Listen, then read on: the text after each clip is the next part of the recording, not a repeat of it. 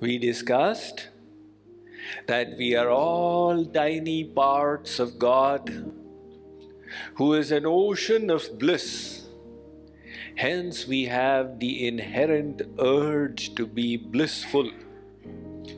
And we cannot rest contented until we get such bliss, which is infinite in extent, which is ever fresh and once attained, it will never be snatched away from us. That is the Sat Chit Anand of God. That bliss will be attained when we attain God Himself. In order to attain God, we will have to go beyond the purview of our senses, mind, and intellect because He is divine beyond the material realm. And hence we must not harbor this vanity that by our intellectual analysis we'll be able to fathom God. He is only known when He bestows His grace and grants to the soul His divine intellect. On receiving God's power, any fortunate soul can see him, hear him, reach him, think of him, know him, and attain him. However, God's grace is not a whimsical act from His sight.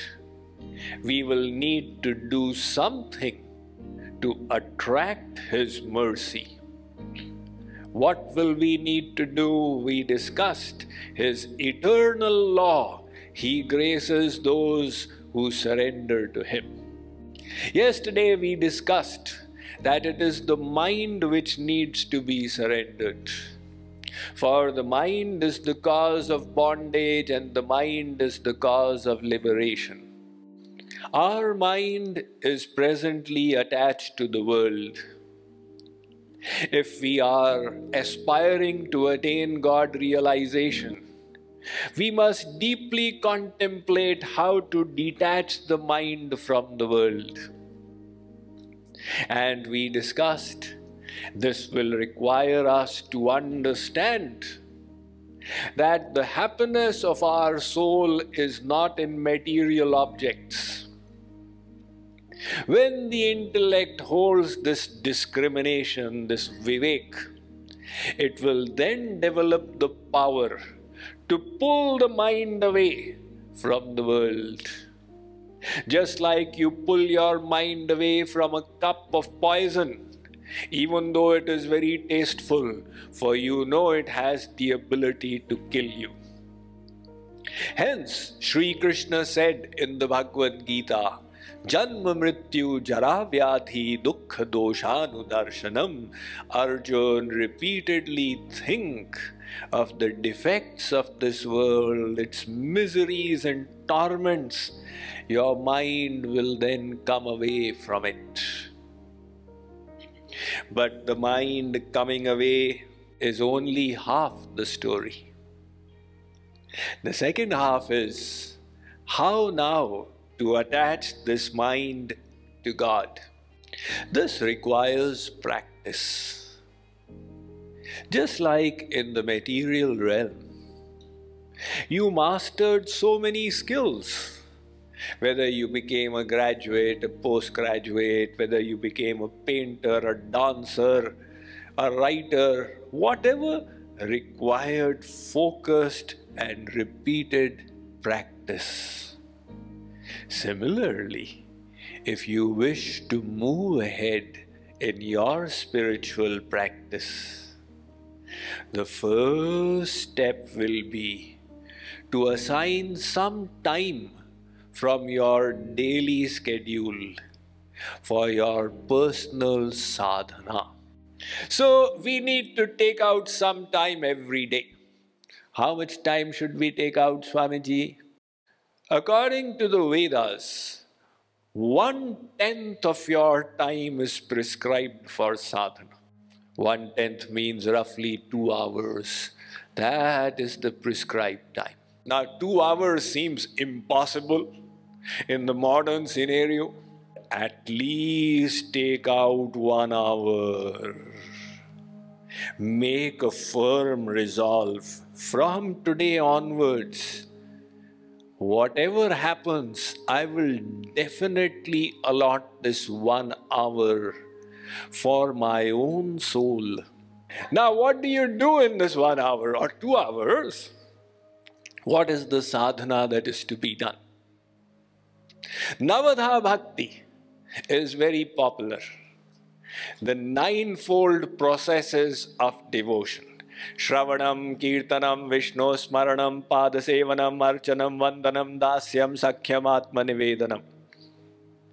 This was stated by Prahlad Maharaj in the Srimad Bhagavat Mahapuran, 7th canto, 5th chapter, 23rd verse. And it was highlighted by Chaitanya Mahaprabhu. ভজনের শ্রেষ্ঠ নবধা ভক্তি তার মধ্যে সর্বশ্রেষ্ঠ নাম সংকীর্তন And Mahaprabhu Vallabhacharya also highlighted. So all the Bhakti Acharyas started highlighting, hence Navadha Bhakti became extremely popular. Now you can do any of these ninefold processes of devotion worshipping the Lord in His deity form, offering prayers, chanting His names, serving, etc., etc. Shravanam, Kirtanam, etc. So you do any of these ninefold processes of devotion, but one of these nine is compulsory. Without that one, it is all one big zero. What is that one? Smaranam.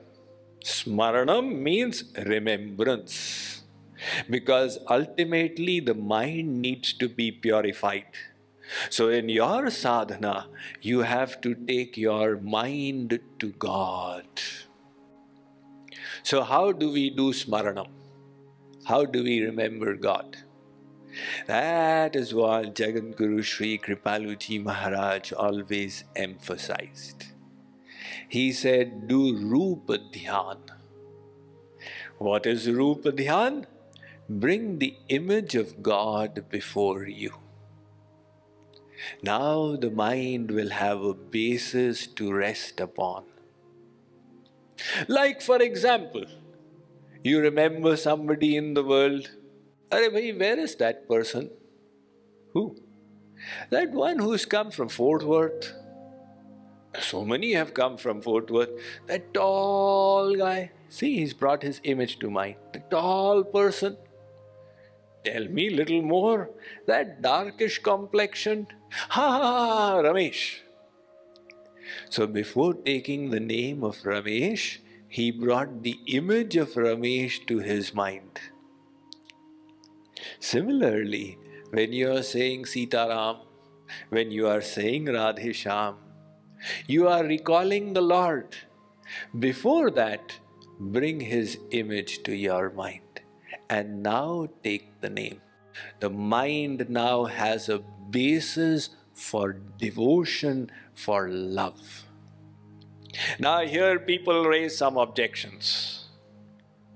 They say, Swamiji, I have never seen God. How will I meditate upon Him?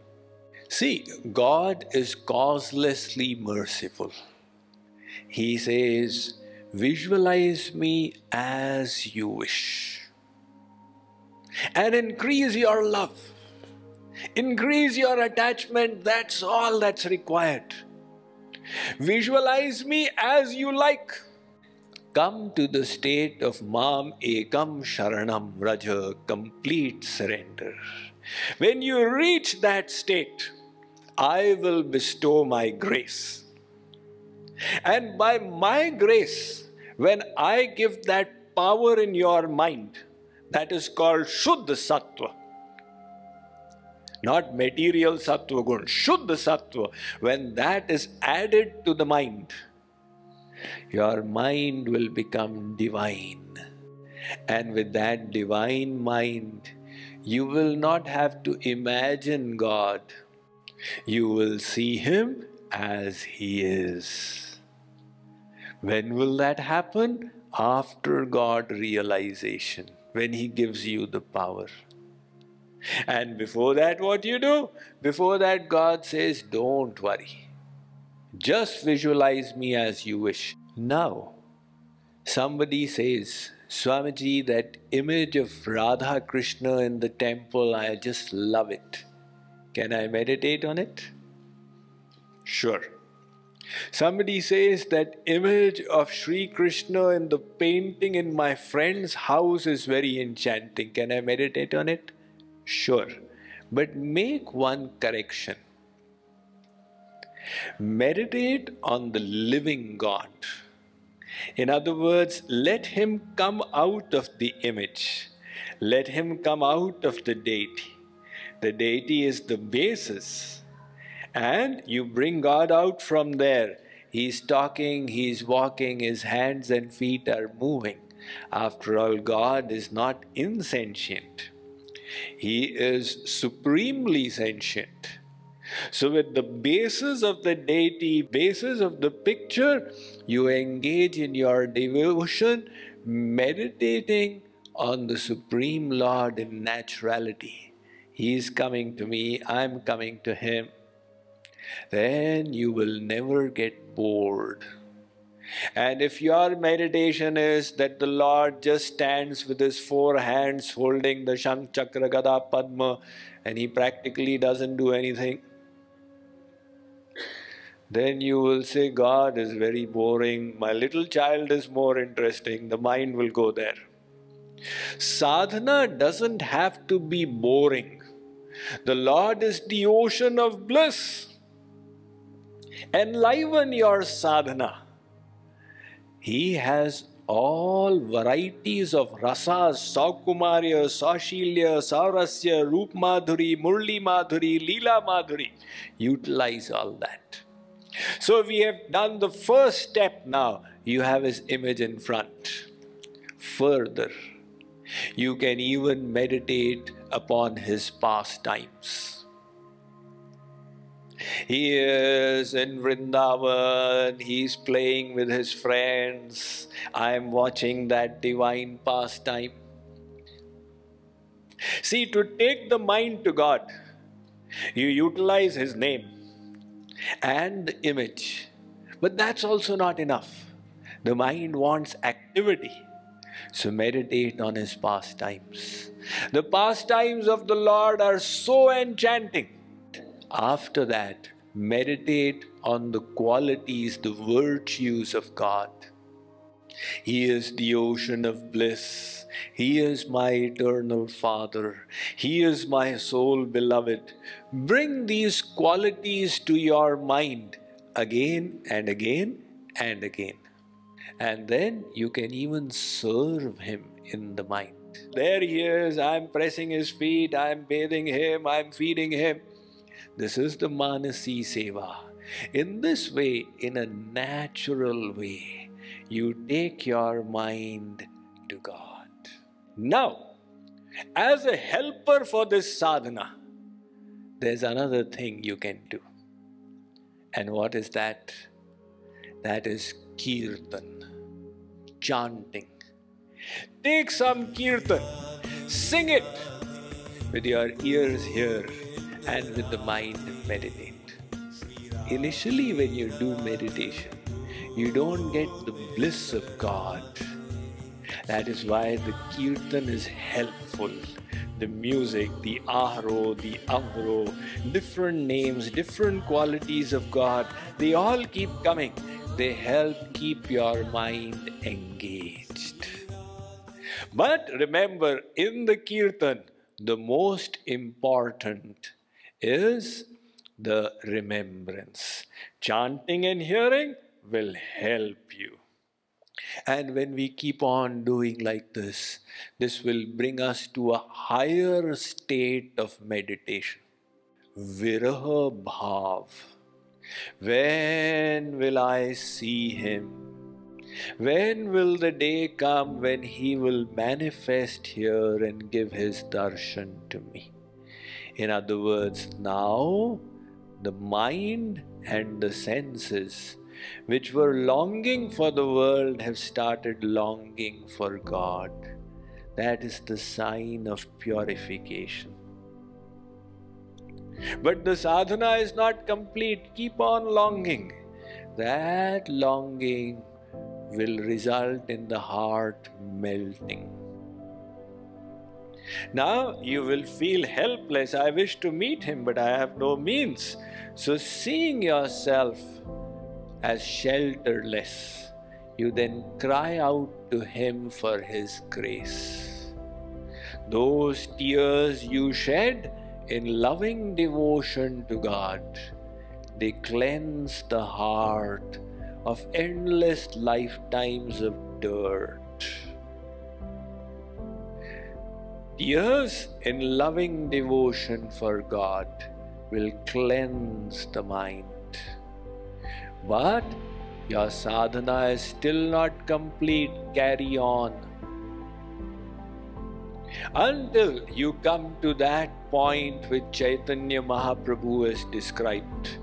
युगायितं निमेषेण चक्षुषा प्रावृषायितं शून्यायितं जगत्सर्वं गोविन्दविरहेण मे He says, now without having darshan of Sri Krishna, the whole world is seeming void.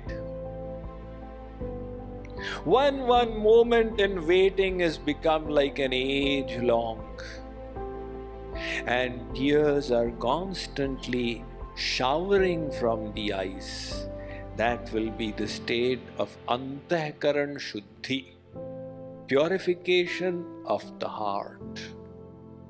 That is the stage for which God and Guru are waiting.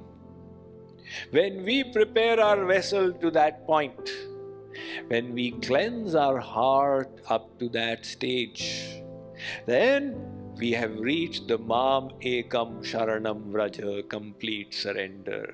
Now God's grace will come, the divine grace that we are seeking. And when that comes, what will happen? भिद्यते हृदयग्रन्थिश्छिद्यन्ते सर्वसंशया क्षीयन्ते चास्य कर्माणि तस्मिन् दृष्टे परावरे the Shvetashvatar Upanishad says, those bonds of Maya, Trigun, they will be cut asunder. The afflictions of the material energy, Tritap, Tridosh, Panchaklesh, Panchakosh, they will all be wiped off. Our karmas, Kshiyante Chasya Karmani, the Sanchit karmas of endless lifetimes, God will burn them and tasmin drishte paravare. We will become complete with His love, His bliss, and His knowledge. In other words, we will now be united with Him. As long as we live in this body, we will be the Jivan Mukta stage. And when we leave this body, we will go to His divine abode to eternally participate in his Nitya Leela, his divine pastimes. So, this is the path to happiness.